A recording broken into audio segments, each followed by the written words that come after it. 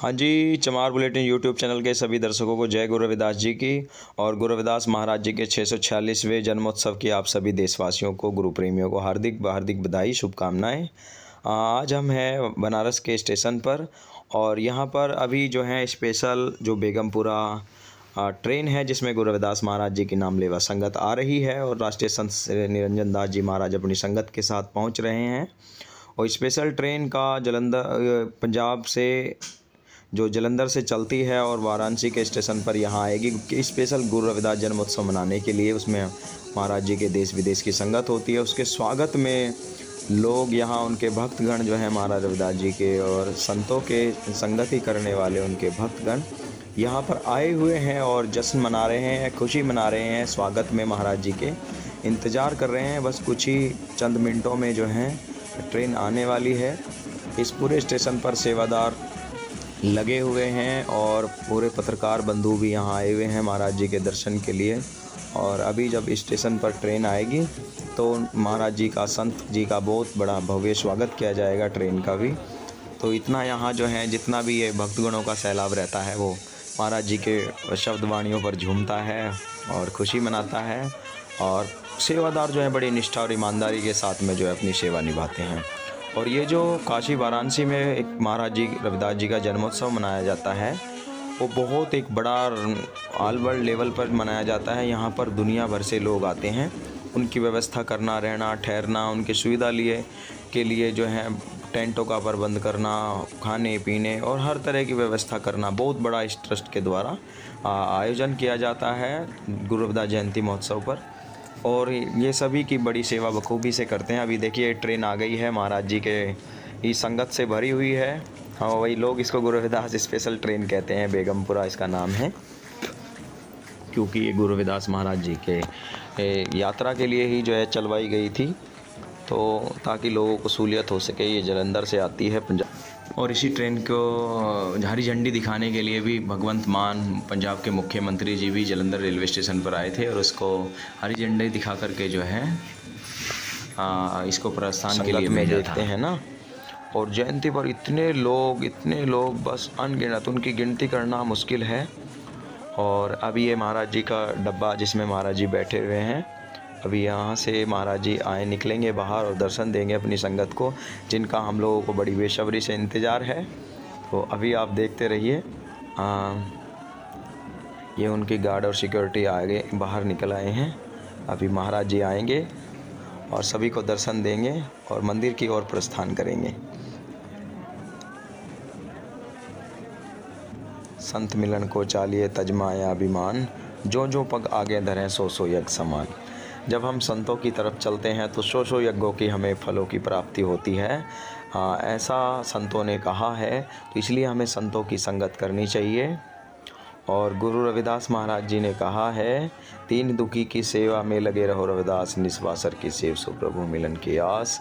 के दीन दुखियों ज़रूरतमंद लोगों के काम आए, आप उनको, उनका सहयोग करें, मदद करें तो वो भी परमारत है। वो भी एक भलाई का कार्य है। तो आप महाराज रविदास जी के अनुयायी आज पूरे देश और दुनिया में निवास करते हैं और जब जयंती उत्सव होता है यहाँ काशी जी में, वो अपने क्षेत्र गाँव जिस ज़िले स्टेट में भी वो रहते हैं, वहाँ तो मनाते ही मनाते हैं, लेकिन यहाँ भी लोग आने वाले ये सौभाग्य समझते हैं, जो लोग बाहर से आते हैं, वो ये मान कर के भाई हमारे गुरु जी की जन्मस्थली है और विदेशों से भी यहाँ भारी मात्रा में लोग आते हैं दर्शन करने।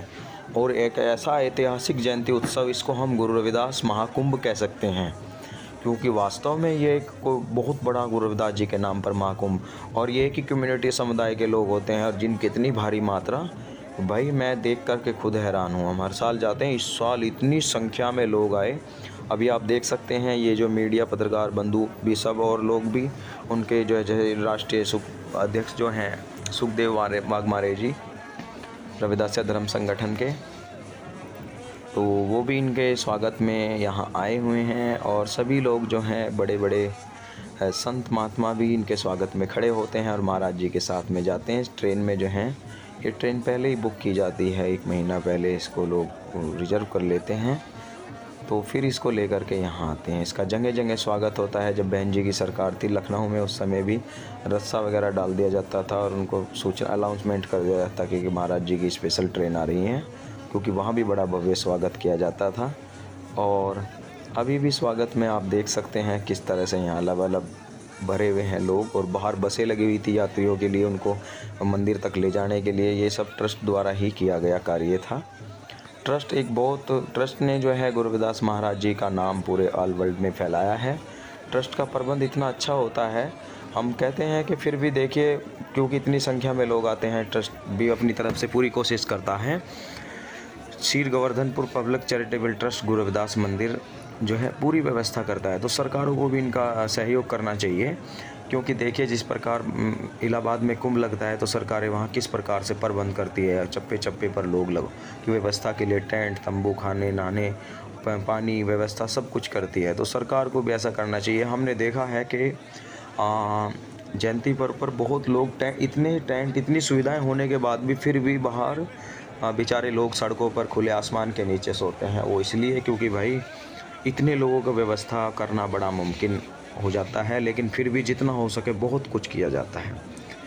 इतनी संगत आती है तो सरकार को भी थोड़ा सा मदद करनी चाहिए कि एक साल में एक बार जो है ये माघ महीने की पूर्णिमा को बहुत बड़ा राष्ट्रीय पर्व मनाया जाता है। विश्व स्तर का तो इसमें सरकारों को सहयोग देना चाहिए, टेंट और लेटरिन बाथरूम, टॉयलेट वगैरह की सुविधा के लिए और भी बहुत सारी चीज़ें होती हैं, ज़रूरत होती हैं कि आप टेंट लगा लगा करके दे दीजिए, उनमें गद्दे मैट की सुविधा करा दीजिए ताकि लोग विश्राम कर सकें, बिजली, पानी और भी जो, जिस प्रकार से भी जो आप कुंभ में सुविधा देते हैं वो यहाँ भी दें, क्योंकि ये भी गुरु रविदास महाकुंभ है और सतगुरु रविदास जी महाराज एक राष्ट्रीय संत हुए हैं, उन्होंने मानव भलाई के लिए बहुत सारे कार्य किए हैं, उन्होंने क्योंकि देखिए, उन, उनको इसलिए दुनिया नमस्ते करती है। उन्होंने उन उन राजों को खोला है जो किताबों में भी नहीं था। उन्होंने बताया जिस प्रकार मेहंदी में, के पत्तों में लाल रंग होता, छिपा होता है, वैसे ही हम जो अछूत एस सी कम्युनिटी और जिनको शूद्र वगैरह बोलते हैं वर्ण व्यवस्था के अनुसार, चमार लोग हो गए वाल्मीकि लोग हो गए उनको मंदिरों से बहुत दूर रखा गया। उनको घुसने भी, उनकी छावड़ी से भी फरेज किया जाता था।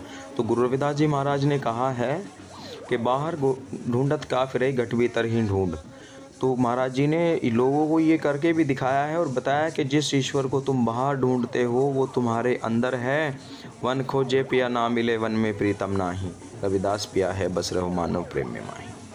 प्रेम को भक्ति कहा है, प्रेम में ईश्वर का वास है। इंसान को इंसान की सेवा करनी चाहिए, एक दूसरे की मदद करनी चाहिए। बहुत सारे ऐसे रहस्य खोले हैं महाराज जी ने। पहले जब पहले जब ऐसे धर्मों के द्वारा उपदेश दिए जाते थे, लोग गंगा स्नान वगैरह करने जाते थे, पुण्य करने जाते थे, गुरु रविदास जी ने कहा, क्या काशी, क्या मथुरा, क्या द्वारका, क्या काशी हरिद्वार? रविदास खोजा दिल अपना तो मिलिया दिलदार। तो हमारे लोगों को कहा कि क्यों आप अपमान कराने दूसरों के मंदिरों में जाते हो? अगर आप अपने आप में खोजो, अपने दिल में खोजो तो आपको जो है गुरु महाराज जो है, अंदर ही प्रकट होंगे, अंदर ही दर्शन देगा मालिक सतगुरु जिसको की उपासना दुनिया करते हैं, जंगलों में जाती है कई लोग मर जाते हैं पहाड़ों से गिर गिर के। और इसलिए गुरु रविदास महाराज जी ने बहुत अच्छी अच्छी बातें कही हैं, बहुत जन्म बिछड़े थे, माधव जन्म तुम्हारे लेके। कि हम बहुत जन्मों से बिछड़े हुए थे, पता नहीं कभी कीट पतंगा, कभी मक्खी, मच्छर बनते थे। ये इंसानी जामा मिला है। तो परमात्मा की उपासना करने के लिए, सतगुरु का ध्यान धरने के लिए, भजन बंदगी करने के लिए और सत्संग प्रथा जो है, सतगुरु रविदास महाराज जी की चलाई हुई है। यहाँ काशी के वाराणसी में श्री गोवर्धनपुर जो यहाँ से सात आठ दस किलोमीटर की दूरी पर है, बहुत विशाल मेला महाराज जी का लगता है उनकी सुविधा के लिए बहुत सारी सुविधा मुहैया कराई जाती हैं और जयंती पर यहाँ बहुत सारे वी वगैरह भी आते हैं। अभी इस बार भी योगी जी भी आए थे और भी बहुत सारे लोग आए हैं। चंद्रशेखर आज़ाद जी, जो कि राष्ट्रीय अध्यक्ष हैं, भीम आर्मी चीफ के और आज़ाद समाज पार्टी के और भी बहुत सारे लोग। तो भाई, आप सभी भी जिन्होंने काशी नहीं देखी है, जो लोग वो एक बार ज़रूर यहाँ दर्शन करने आएँ। आपका बड़ा मन लगेगा, आपको बहुत अच्छा मज़ा आएगा। आपका तन मन निहाल हो जाएगा। आप अपने, आप में गौरवान्वित महसूस करेंगे, क्योंकि ये सतगुरु रविदास महाराज जी की जन्मस्थली है। इसको दुनिया नमस्ते करती है। और ये जो लोग आते हैं, पता नहीं कितने कितने आठ आठ दस दिन यहाँ बहुत बड़ा, जहाँ जिधर देखो उधर रविदासी है, जिधर देखो उधर रविदासी दिखाई देते हैं बनारस में। क्योंकि बनारस जो है, घूमने की एक दार्शनिक स्थली भी है। और यहाँ पर लोग जो हैं, वैसे भी आते हैं। तो इस मेले के अवसर पर लोग आते हैं अपने गुरु साहिब के चरणों में सजदा करने। किसी की नई शादी होती है वो गुरु पूजा देते हैं मत्था टेकते हैं। किसी को बच्चा होता है नया तो उसको भी मत्था टिकवाने के लिए लाते हैं। लोग अपनी अपनी आस्था को यहाँ महाराज जी के आ, सामने नतमस्तक होते हैं। तो बहुत अच्छा लगता है भाई आप लोग भी कभी आएँ ज़रूर जो नहीं आए हैं। और आप सभी से मेरा निवेदन है कि मैं जो ये सब जानकारियाँ देता हूँ, ये इसलिए देता हूँ ताकि भाई हमारे गुरु महाराज जी का प्रचार हो और लोग जान सके कि वो कितने बड़े आध्यात्मिक गुरु हुए हैं। संत शिरोमणि का किताब उनके पास है। गुरु रविदास महाराज जी का समाज किसी से कम नहीं है। बहुत समाज, जिस जिस स्टेट में, जिस ज़िले में आप पैर रख दोगे, वहीं हमारे रविदास चमार समाज के लोग रहते हैं और बहुत आस्था रखते हैं। और गांव-गांव में भी, छोटे-छोटे गाँव में भी गुरु रविदास जी की जयंतियाँ मनाई गई। और ये अब बहुत बड़ा एक गुरु रविदास जी का युग चल रहा है। उनके विचारधारक बड़े बड़े कथावाचक संत भी जो हैं, उनकी उपमा कर रहे हैं, उनके बारे में बता रहे हैं। भले ही वो थोड़ा नमक मिर्च लगा के उल्टा सीधा इतिहास गुरु जी का बताते हैं, लेकिन कहीं ना कहीं उनकी कथाएँ भी आज गुरु रविदास जी की वाणियों के विचारों के बिना पूरी नहीं होती, क्योंकि कहीं ना कहीं रविदास जी कबीर जी के दोहें जो हैं, भारत की संस्कृति हैं, उनकी जड़ हैं और मानव जीवन में बहुत दर्शन करते हैं। तो हम लोगों को सभी प्रेरणा स्रोत हैं, गुरु रविदास जी महाराज। तो संतों की संगत करिए और चमार बुलेटिन यूट्यूब चैनल को सब्सक्राइब करें लाइक करें शेयर करें। धन्यवाद। सतनाम। सतगुरु रविदास महाराज की जय।